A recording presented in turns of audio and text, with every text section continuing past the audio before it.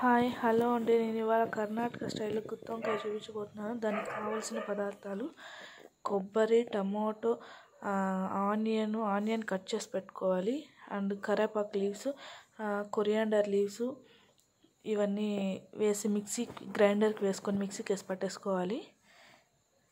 Paste లాగా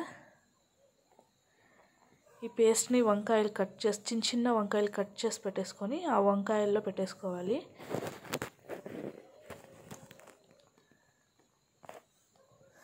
ఇప్పుడు చింతపండు నానబెట్టుకున్నాను. కొద్దిగా చింతపండు నానబెట్టుకోవాలి. తర్వాత పోపు వేసుకోవాలి. పోపు వేసుకొని ఆనియన్ కట్ చేసుకున్నాం కదా ముందే అది వేసేసుకోవాలి. ఆనియన్స్ వేగుతున్నాయి కదా కొంచెంసేపు వేగాలంటే ఎక్కువ వేగకూడదు ఇప్పుడు కొరియాండర్ లీవ్స్ కరివేపాకు లీవ్స్ వేసేసేయాలి. కొంచెంసేపు వేగాలంతే అండి. కొంచెం ఎక్కువ మాడిపోతే తర్వాత వంకాయలు వేసిన తర్వాత కొంచెం ఎక్కువ ఫ్రై అయిపోతుంది.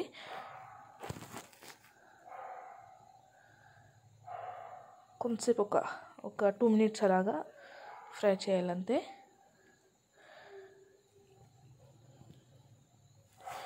ఇప్పుడు వంకాయల్లో మనం కారం పెట్టేసుకున్నాం కదా అదంతా వేసేసేయాలి.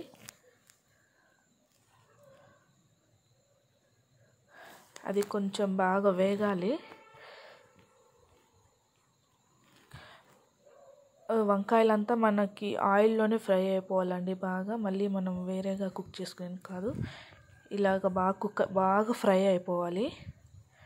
ఇప్పుడు మనకి ఇంకా మసాలా ఉంటుంది కదా కొద్దిగా ఆ మసాలా అంతా వేసేసేయాలి.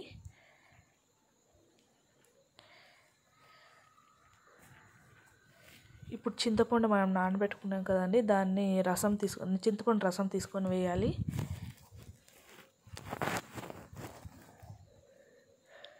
వేసేసి కొంచెం బాగా కలపెట్టేసి ఇంకొద్దిగా వాటర్ వేసి కలపెట్టేసి మూత పెట్టేసేయాలి. మూత పెట్టేసిన తర్వాత ఒక్కొక్క టూ ఒక ఫైవ్ ఫైవ్ టెన్ మినిట్స్ తర్వాత ఓపెన్ చేసి చూసి మళ్ళీ కలపెట్టేసి మళ్ళీ క్లోజ్ చేయాలి. ఒక టూ మినిట్స్ అయిపోయిన తర్వాత ఇలా ఉంటుంది రెడీ గుత్తి వంకాయ స్టైల్